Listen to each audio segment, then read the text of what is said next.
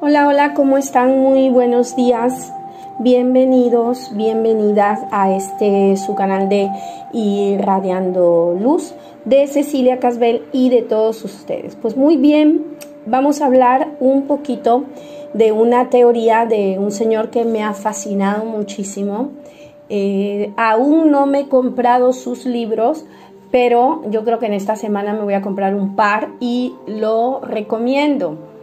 Eh, estoy hablando de el señor Salvador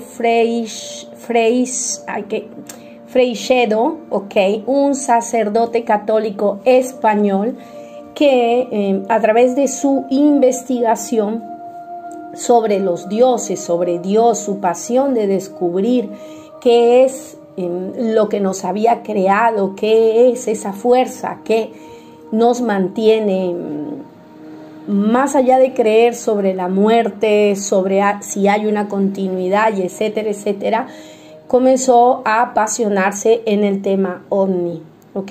Y ha tocado muchísimos temas, muchísimos temas, pero hay un tema que a mí en lo particular me, ha, me ha gustado mucho, me ha llamado mucho la atención, que habla sobre los falsos dioses, ¿ok? Sobre aquellos ángeles que en la época antigua se presentaron, se manifestaron de muchas maneras, pero que en realidad, según él, serían pues los extraterrestres, ¿no? Tiene muchísimas teorías desde que nosotros somos una granja humana, así como nosotros necesitamos de las vacas, eh, los cerdos y todos estos animales y luego eh, lo utilizamos ya sea para la leche, el queso, la mantequilla y para comer la carne, pues lo mismo estos seres se alimentarían de nuestra energía, ¿no? Que hay muchos pactos, que hay muchísimos pactos entre estos seres, ¿no? A cambio de tecnología, eh, la tecnología que según él cambió de los años 80, hubo un boom a, la tecnología no inmediata, pero al mismo tiempo hubieron muchísimas desapariciones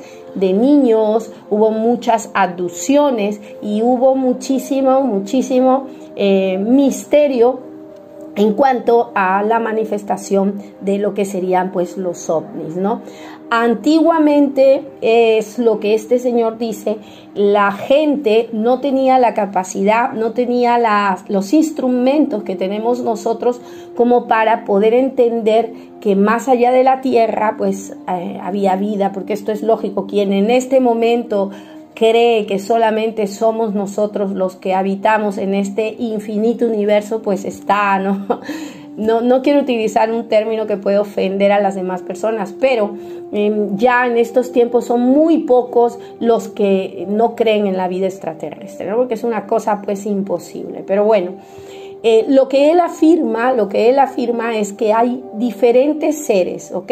Diferentes seres, pero que en sí no son seres bondadosos. No son seres bondadosos, podrían ser seres neutros que quieren experimentar con nosotros, así como los ángeles no son seres, eh, no son seres bondadosos, como es que los ángeles son mensajeros, porque ya tenemos pues los dos bandos a nivel de religión, los ángeles buenos que son utilizados eh, por Dios y que comunican a María, que comunican a Elizabeth, que comunican pues a Juan Bautista, que se presentan a uno y a otro, siempre comunicando los designos de Dios, ¿no? Inclusive a Moisés y todas estas cosas. Eh, pero también tenemos los ángeles malos que eh, trabajan al lado de Lucifer, Satanás, ¿no? Y que de alguna manera los echaron del paraíso para que gobiernen este lado del universo, que estamos en cuarentena. Pero ya hemos hecho un video explicando sobre la cuarentena, eh, por qué no hay vida en Marte, por qué todo este lado, el único planeta que tiene vida, eh, somos nosotros supuestamente, ¿no? Pero bueno, ese es otro tema. Ahora vamos a hablar de este, eh, de este señor que dejó pues de creer, dejó sus convicciones para de alguna manera abrir los ojos. Él dice que el fenómeno ovni le dio dos cosas, le dio dos cosas. Eh, una cosa que lo llenó de terror, porque la verdad para él fue terrorífica, ¿ok? Y quien ha leído sus libros dice que usa palabras muy directas y que de verdad te deja un concepto de, de lo que somos, del para qué estamos y de cuál es nuestra existencia terrible. Pero eh, a él, en el momento que comenzó a investigar, a profundizar sobre esto, dice que le abrió la mente, ¿no? Una variante, eh, podemos decir que todo lo que él habla es una variante de Sitchi, eh, los que han leído, ¿no? Eh, este autor que también hablaba sobre los Anunnakis y toda esta historia de, la, de la genética artificial, de la procreación, de todo, de todo lo que hablaba este, este autor, ¿no? Pero él es una variante de él, ¿no? De la identidad de los dioses. Él nos ofrece una variante, ¿no? Quien fuera uno de los más em, aclamados eufólogos, en este caso que es Sishi, ok, él lo deja chiquitito con todo lo que, lo que él habla. Habla Salvador Freixedo. Su estudio del fenómeno ovni lo dejó, lo, de, lo hizo dejar el sacerdocio católico y renunciar a la compañía eh, de Jesús. Él era pues muy como apasionado por esto desde pequeño, pero sin embargo el fenómeno ovni hizo que él pusiera un punto final hasta, hasta eso, ¿no? Afirma que los dioses de la antigüedad en realidad eran extraterrestres. Nada nuevo en esta afirmación porque tenemos muchísimos que afirman lo mismo, pero va más allá de esto cuando asegura que dichos seres que vienen de, dominando, eh, vienen nominados en casi todas las religiones, en casi todos los, eh, momentos em, importantes de la humanidad, ¿ok? Aún siguen dominando la humanidad y han cambiado la temática y dominan la humanidad a través de las religiones. Las religiones fue eh, una invención perversa, con una intención perversa, para someter a todos los seres humanos. Así que nuestro querido autor, ¿no? Eh, después de ser un sacerdote, eh, católico, ferviente, servidor de la eh, compañía de Jesús, ahora nos dice que todo esto es una invención para someternos y sobre todo nos invita a ser escépticos, ¿ok? Y nos dice que que no necesariamente el ateísmo sería un camino, porque también nos habla de que ser ateos eh, también nos dejaríamos manipular por otras situaciones. Así que eh, hay que ponernos en guardia en esto. Nos habla de liberar la mente. Nos pone un ejemplo, nos pone un ejemplo que a mí me parece muy, pero muy interesante sobre eh, lo que serían las imágenes, ¿no?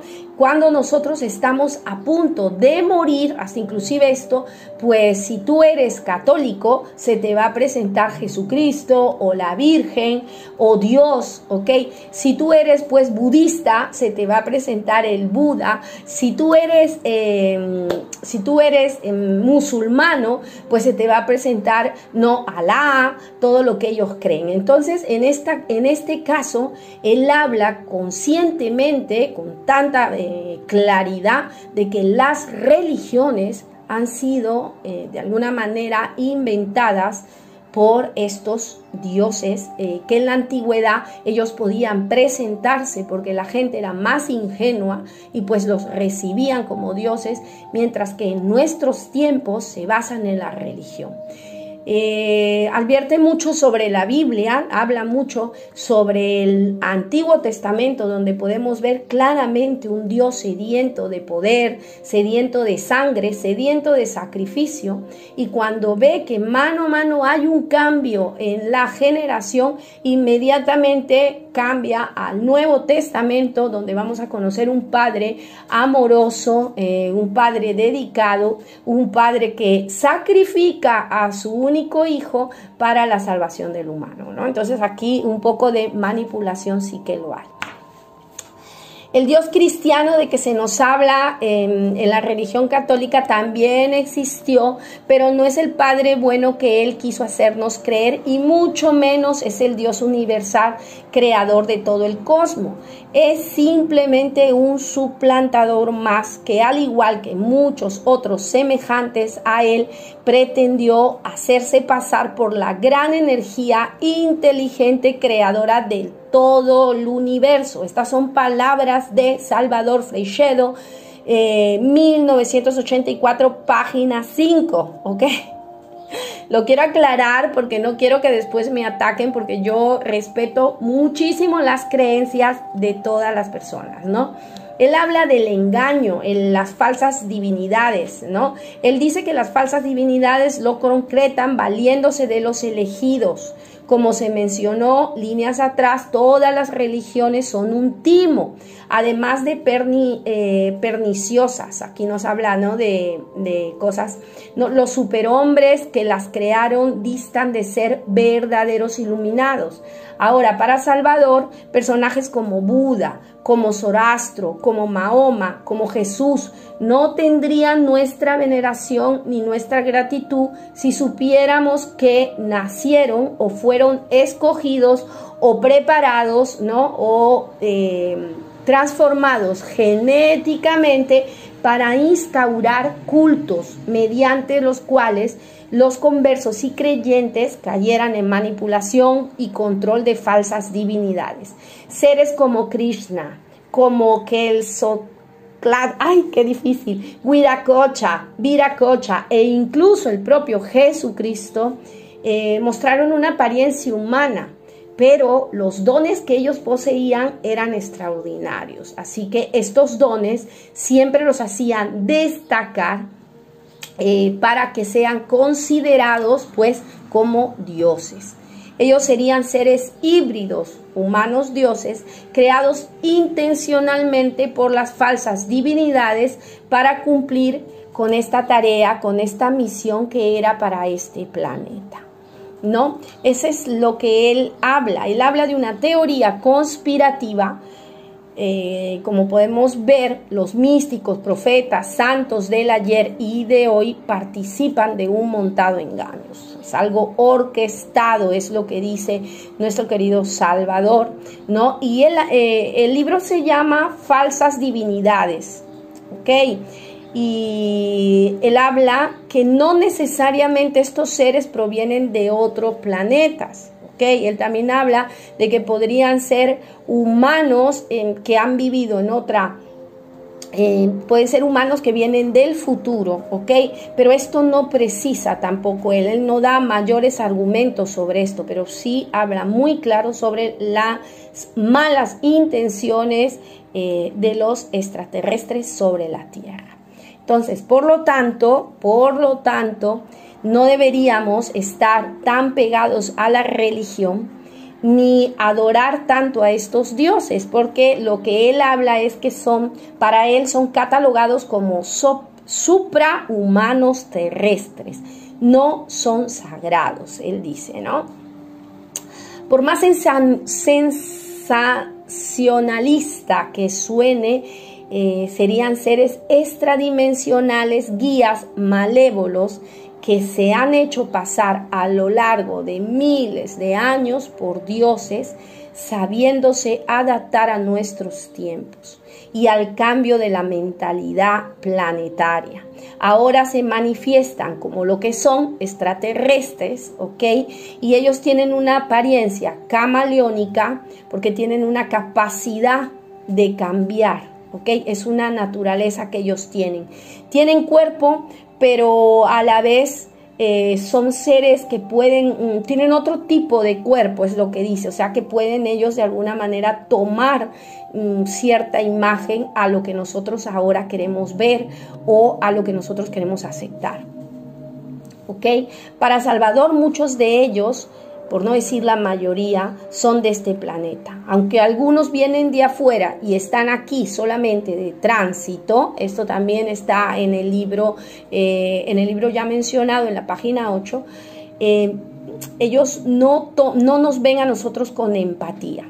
No nos ven con nosotros como, eh, como seres que podríamos superarnos, sino nos ven como criaturas de naturaleza psíquicas que podríamos ser alimentos para ellos, seres inorgánicos, ¿ok? Que consumen y viven de nuestra energía vital. Eh, inclusive mm, podría de alguna manera nosotros servir como comercio para lo que serían los reptilianos y estos draconianos, porque eh, en algunas teorías estos seres comen carne, ¿no? Y muchas, muchos ratos que, se, que dicen que se les adjuntan a personas enfermas mentalmente o a personas que eh, hacen cosas que no deben, dice, ah, cierta cantidad de niños se desapareció por este tema, ¿no? No podemos mencionar ese tema porque si no bloquean el video. Pero en realidad lo que él dice que sí, que existen personas malas que tienen esta tendencia a dañar a los niños, pero también la gran mayoría vienen raptados y, desaparecidos por manos eh, de seres que no son de este planeta. Ok, así que eh, lo que él habla es que la religión son grandes eh, máquinas de doctrina y que de alguna manera nos pide que nos defendamos de nuestros dioses. Este es eh, un autor, ya lo saben, Salvador Freixedo. Estaba leyendo un poco sobre él, quería compartir con ustedes, ustedes qué opinan sobre la teoría de él, ya que aquí compartimos muchas opiniones de autores. Y bueno, quería pedir disculpas si es que se ha tocado alguna fibra delicada de la religión. Recuérdense que este es un canal que nos invita a pensar, a analizar libros, eh, tarot, energía y todo. Les mando un beso. Espero que pasen un buen fin de semana y nos vemos en el próximo video. Sí, chao, chao.